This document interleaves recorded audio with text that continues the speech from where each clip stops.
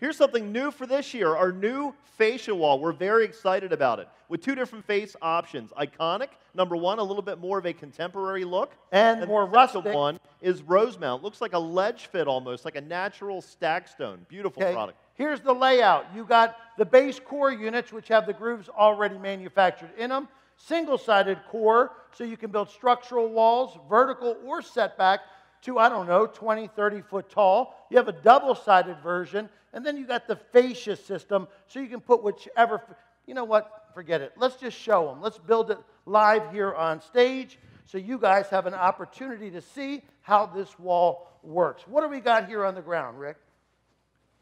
Big reveal.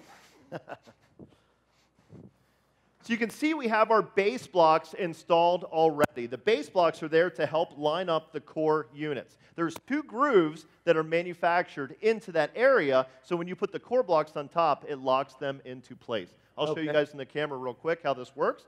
You guys see the two grooves there?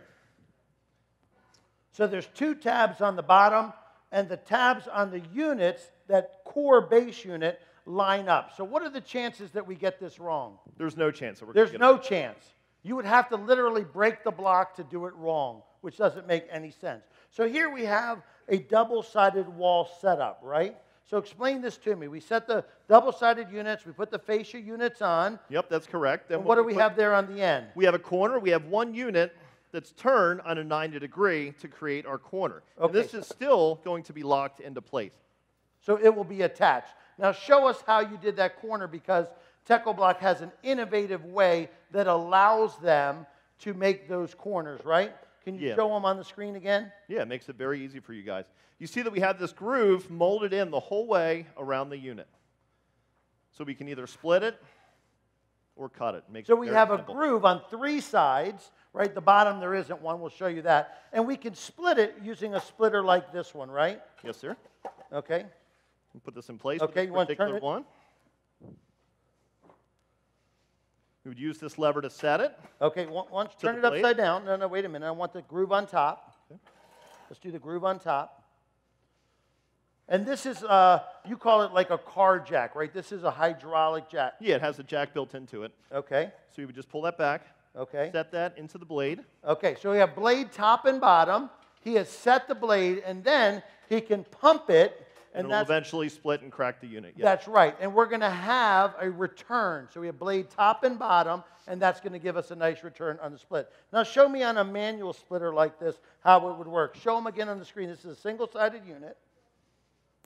So again, you can see that groove that's cast into that block to aid in splitting. With the single-sided unit, it's on three different sides. Okay, now that one we had the groove on the top. This one you're going to do it on the bottom. Yeah, we're going to flip it around on the bottom. Okay, You guys can hear this for a second.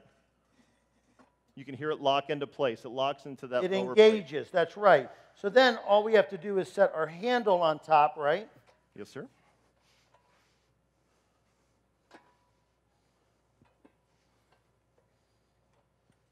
Tighten that down to the unit. Okay. Lock it into place. Okay. Let's see what the right angle is, Rick. Okay, you need to loosen it up. Loosen it up. Right about here. Okay, so now what he wants to do is put all his weight on it. Just put as much force as he possibly. Nope, not quite yet. What? Score it a little bit. Put some pressure into it. Okay. Lift it up. Score it again. Do that a couple times. And then eventually put all your weight into it and break it. Okay, so we want to get that return to every split, correct? Let me ask you a question about these two styles of splitter. How much noise do they make?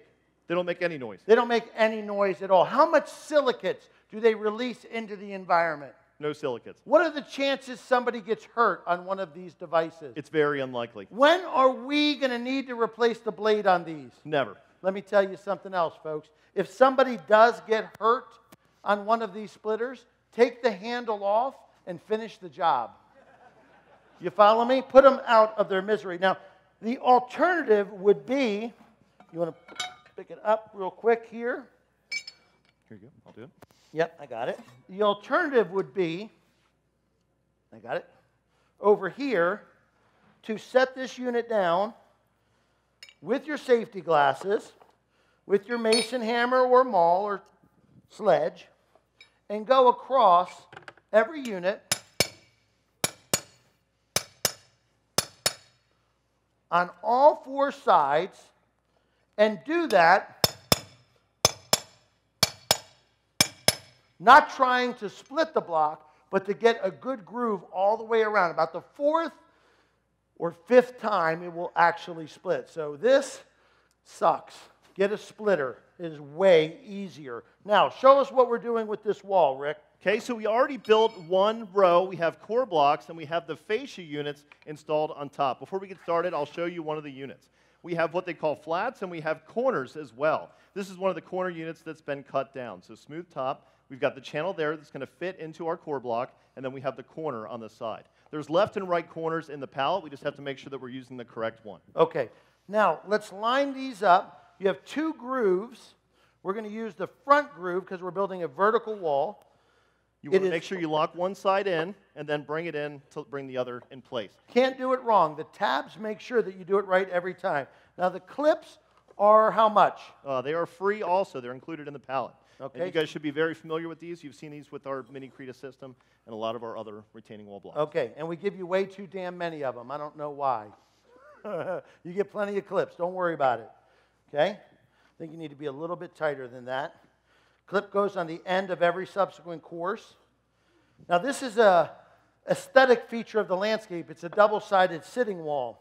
So in a double-sided sitting wall application like this, we're going to be putting a dab of glue on every course. Our kids are going to be climbing on it, jumping off of it. We don't want any problems. So a little bit of space between those units is fine. But if I was building a structural retaining wall, vertical or setback, I'd be using the other blocks over here. And if I were doing that, I would build them tight because weight gives you strength in a gravity wall application. I think you got one more, Rick. Yes, sir. And then a corner. There you go, sir. You guys can see there's a handle built into this block also to make it easier to hold. So it's very simple to hold two of those at one time. With the double-sided block, it really doesn't matter what position it's in. You can see that we flip-flopped a couple here. Okay. And that ties them all together. The clip goes in there. Okay. You're a little bit loose over here. You want me to slide them down a little bit? No, I think we're okay. Okay, good. And here's your corner. And then let me give you your small corner. Now, this is cut already, just like the other one. So we're breaking our bond. Now, I know you have a cut unit here because we want to go with a half bond laying pattern, right? Yeah, that's so correct. So we're going to put the cut, cut on the other side. On the other side. Okay, and this is the first stringer, so show them that on camera so they can see it. So here's the stringer unit again, sold separately from the corners, but this is done straight. Show them the face. straight runs. Show them the face nice. Okay, and the grooves on top, we're using. Here's the grooves on top, and you can see that there's two sets of grooves because this is a structural wall also. When we build it single-sided, we can actually build it in a setback. That's right. Now, everything is packaged with corrugated plastic to protect them. All of the packaging at Techo-Bloc has a recycled content and is recyclable. We are conservationists like you are, so we keep the environment in mind. Here's another stringer. Okay, here's your corner. Okay.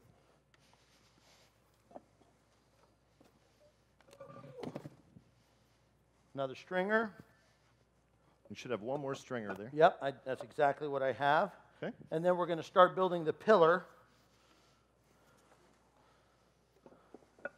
Okay, and we're just going to glue and cap that, and that's going to secure everything, right?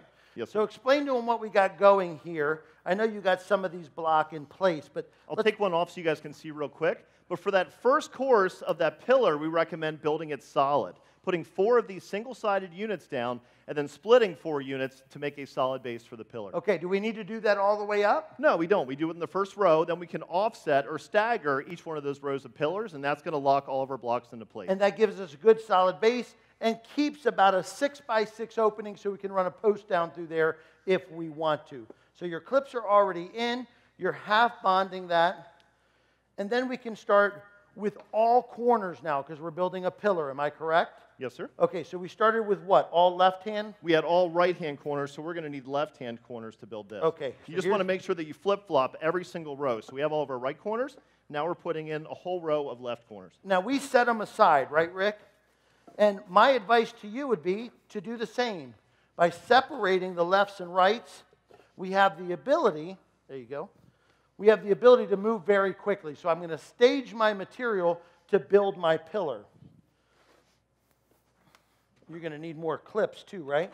Yes, sir. Four more. And then you're going to start with your block. Am I correct? Yes. Okay. So these all have the tab on them.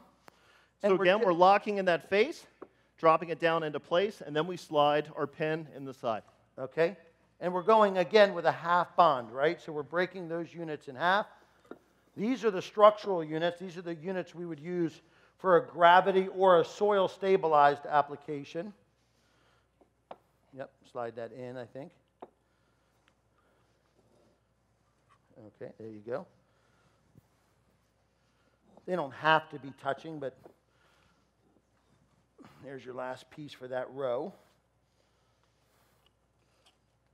Okay, there you go, sir. And that ties that in. Would I use a dab of glue here? Yes, absolutely, because kids are going to be climbing on it and I don't want to have any issues. Now, what do we got next, right? Now we're going to switch over to right side corners. Right side corners, okay, you ready? Again, left, right, left. All right. There you go. This is the rose mount texture, okay, which is the more rustic of the two, the stacked stone kind of appearance. We do have the iconic also. You guys can see it out in the hallway on the the Yeah, first more picture. contemporary, right? Oh, I got Okay, ahead of myself. Okay, you need clips again, right? Yes, sir. I got one here. I just need three. All right. Everybody hear that? Yes, sir? Thank you, Rick. Make me feel old sometimes. And I'm so young. I need a clip on this side. I love these handles built into the back. They can't slip out of your hand. That is a nice feature. Again, recycled content and recyclable, all the packaging at Techo. We're very proud of that fact. Even the clips that we use in the wall have a very high recycled content. Anything we can do to conserve, we're going to do.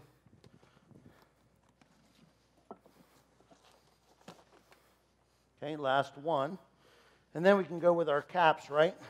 Yep, we have the Raffinato cap. Why don't we 60 start with this one on the wall? Okay. Go that way.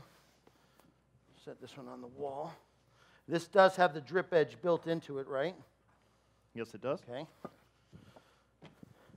Packaged with corrugated plastic between them. Okay. Ooh, ooh. Oops, sorry. You got ahead of me there, buddy. Buddy, buddy. We'll just put two on this wall. We'll keep it open so you guys can come up during break and take a look at it. Okay. Check the system out. Absolutely. Now let's use the same ones.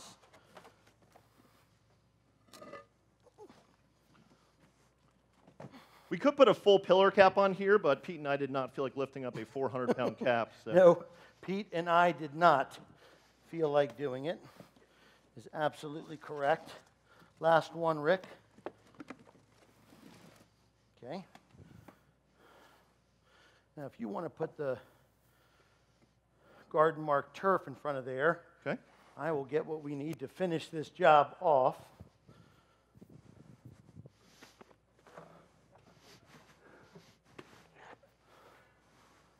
Okay, Rick, you ready? Yes, sir. How do we celebrate a job well done?